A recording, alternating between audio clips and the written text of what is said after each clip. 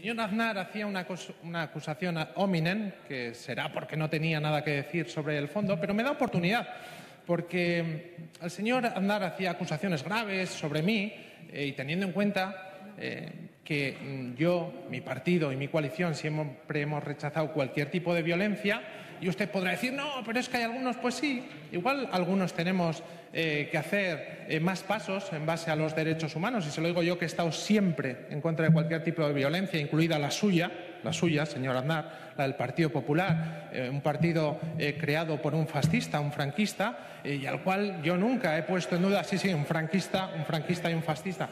Y yo señoría, señoría, ruego por favor que mida las palabras y que retire esas palabras.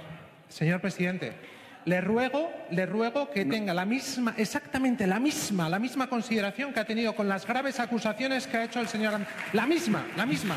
ni más ni menos. Ni más ni menos, la misma. Señoría.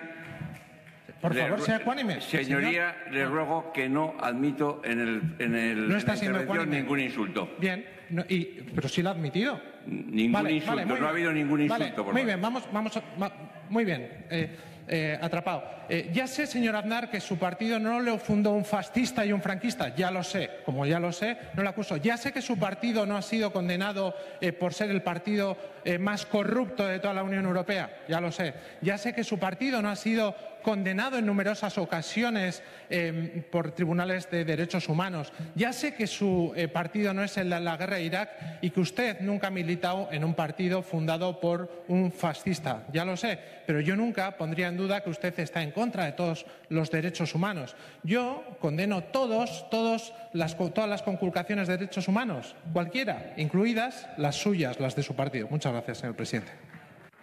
Muchas gracias.